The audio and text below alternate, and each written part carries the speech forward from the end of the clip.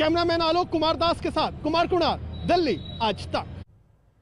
दिल्ली में सोमवार को दिल्ली वालों ने जमकर नियमों की अनदेखी की। कुछ जगहों पर तो लोग बगैर मास्क के ही नज़र आए। सोशल डिस्टेंसिंग सबसे ज़रूरी है, पर इसकी सबसे ज़्यादा अनदेखी हुई। देखिए, क्या था? गांधीनगर के बाज़ार का हाल।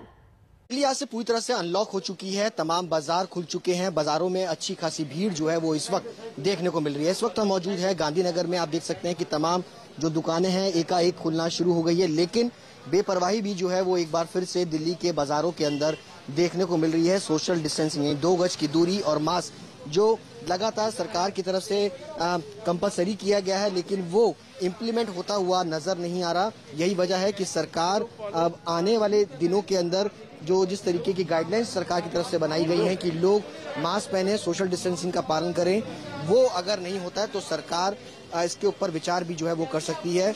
व्यापारी है, ये बताइए कि सर, बाज़ार ज़रूर खुल गए हैं, लेकिन जो नियम है, वो फॉलो होते हुए नज़र नहीं आते। सर, एकदम दो महीने से व्यापार बनता है, आज दो महीने बाद खुला है तो रेगुलर होने से एकदम रश तो बढ़ेगा।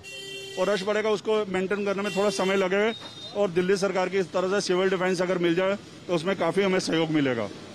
तो बेपरवाह क्यों हो रहे हैं? क्योंकि कई जगह पे देख रहा हूँ कि मास्क नहीं पहन रहे लोग।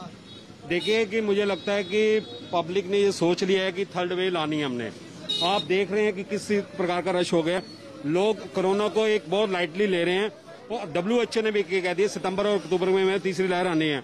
और मैं ये जिस हिसाब से ये हालात पैदा हो चुके हैं, उस हिसाब से लगता है कि थर्ड वे आएगी और दिल्ली सरकार को चाहिए कि और इवन तो सब चीज़ अनलॉक कर दिए इस बाजारों को भी देखे क्या हालात हो रहे हैं और अगर सख्ती हो तो मार्केटों में सख्ती भी करनी चाहिए उनको।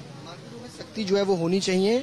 यही वजह है, आप देख सकते हैं कि तमाम यहाँ पर उसी तरीके के हालात जो आज से 15 से 20 दिन पहले जब दिल्ली पूरी तरह से लॉकडाउन थी, लोग ऑक्सीजन और बेड के लिए परेशान हो रहे थे, सड़कों पर बेड नहीं मिल रहा था, यही कुछ आलम था, लेकिन आज एक बार फिर जिस तरीके से दिल्ली अनलॉक हुई है, दिल्ली वाले एक बार फिर से बेपरवाह हो गए हैं, वो भूल गए हैं कि 15 से 20 दिन पहले दिल्ली के क्या हालात थे। कैमरा पर्सन हितेश शर्मा के साथ सुशांत मेहरा, दिल्ली, आज तक। वैसे दिल्ली की सड़कों पर ट्रैफ़िक आम